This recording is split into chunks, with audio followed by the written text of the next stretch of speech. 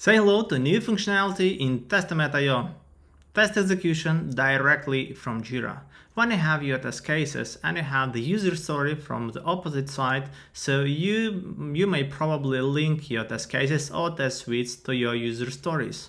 Once it's done, so you will see the list of your test cases in your particular user story. That is the linked test cases we have, both automated and the manual.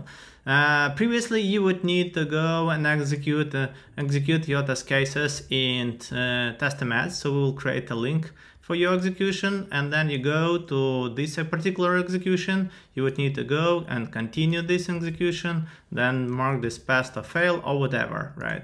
So it was inconvenient because some of the users would like to execute test cases directly from Jira. We have added these capabilities. You go to the three dots. You can run your manual test cases. So by default all the manual test cases will be selected but if you would like to execute even automated test cases manually you can select them.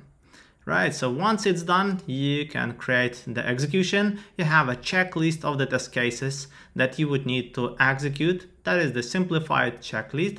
Then you would need to tick its passed failed or skipped or some something like this. Then we will finish this execution and then this execution is automatically linked to this user story. You can go to this particular execution and you can check the results inside of the Testomat.